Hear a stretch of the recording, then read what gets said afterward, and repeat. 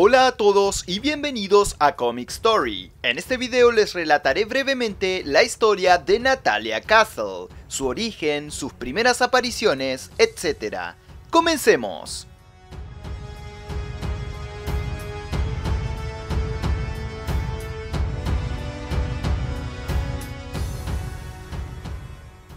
Natalia es originaria de Rusia, aunque se revela muy poco de sus antecedentes. Aparentemente, en algún momento del pasado, ella era miembro de las fuerzas especiales rusas o había recibido algún entrenamiento en espionaje. Fue creada para ser una de las miembros originales del equipo de Danger Girl, y apareció en Danger Girl número 0 en 1997. Como las miembros de Danger Girl son parcialmente parodias de Bond Girls, es posible que su apariencia se haya inspirado parcialmente en alguno de los personajes rusos de la serie y potencialmente el personaje Tatiana Romanova de From Russia with Love.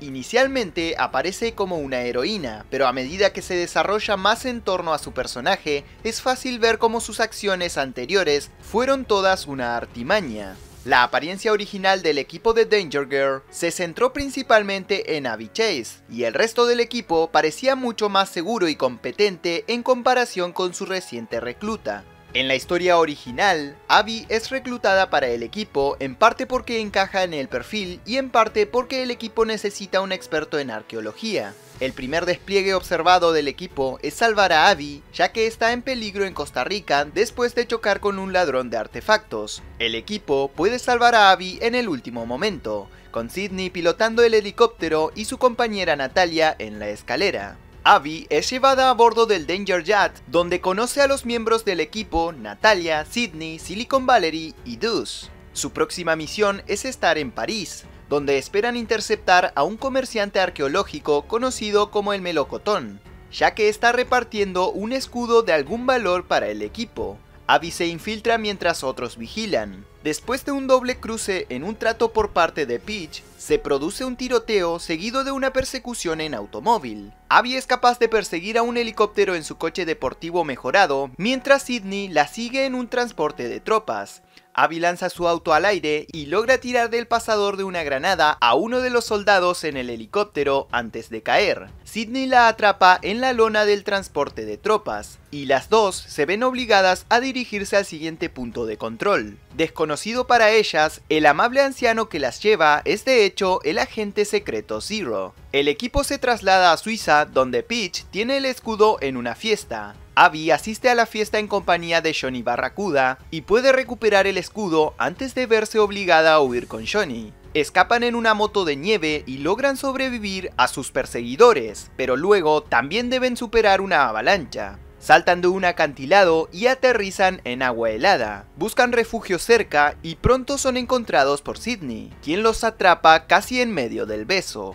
Una vez de regreso al yate Danger, Abby determina que el escudo forma parte de un trío de artefactos que cuando se unen le dan al portador un poder masivo. Determinan que la organización criminal conocida como el Cuarto Reich y el movimiento resurgente de los nazis de la era de la Segunda Guerra Mundial tiene la intención de recuperar los artefactos y lanzar una nueva guerra.